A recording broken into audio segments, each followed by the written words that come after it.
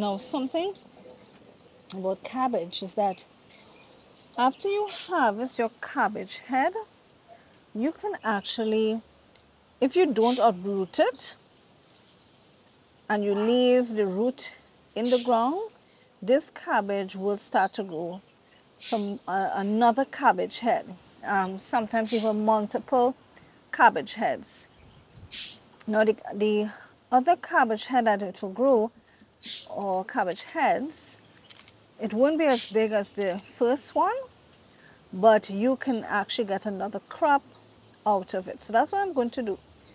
I will harvest this one, but I will leave the root in so that this can uh, continue providing me with another cabbage head even though it would be smaller. Okay, so I'm going to push back on the outer leaves because I want to be very careful. Because like I said, I want to leave this to, you know, give me another crop of cabbage. So I'm going to push back on the leaves so I can sort of expose the stem.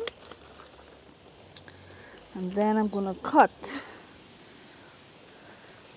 at the bottom there, right?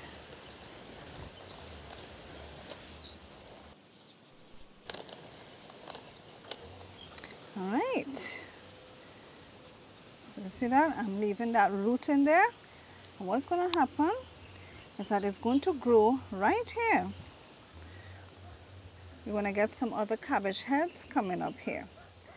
Okay guys, so let's get an update on this cabbage. So remember we harvested the cabbage, I left it, and you can see now it's starting to form some other heads. So we, I counted four. One, two, three, four. One, two, three, four. So that's too much. We don't want it to focus on all of that.